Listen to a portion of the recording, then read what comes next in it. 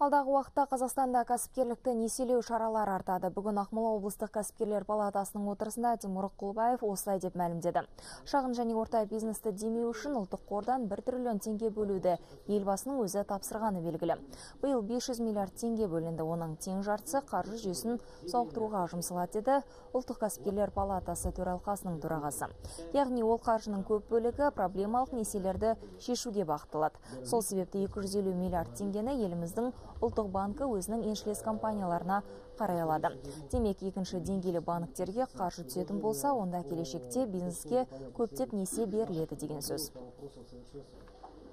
100 миллиардов пойдет по линии домов.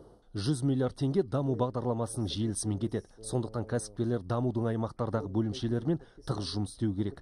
Тағы 150 миллиард теңге жаңа жобаларға бөлінеді. Ол үшін олардың инвестициясы кемінде 10 миллион ақш доллардан кем болмауы шарт. Ондай жобаларды ашуға болады.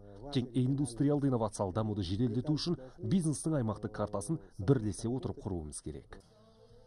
Кәсіп ашқысы келетін кез келген кәсіпкерді ең әуелі жер мәселесі толғандырады. Ұлттық кәсіпкерлер палатасының өкілдері бұның да тиімді жолын таптық дейді.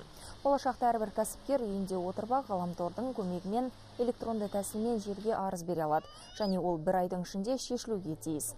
Мұндағы мақсат жемқорлыққа жол бермеу, яғни кәсіпкер мен арасы бұдан былай алшақтайды деген сөз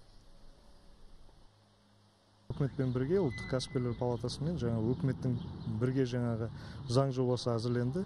Ол заң бойынша енді осы жер беру мәселесі электрондық жүйе арқылы жаңағы алынатын болады.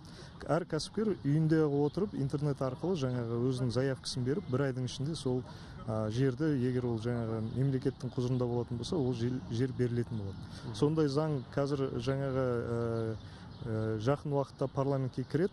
Ол заң қабылданғаннан кейін енді осы жаңағы осы мәселе шешіледі деп ойлаймыз.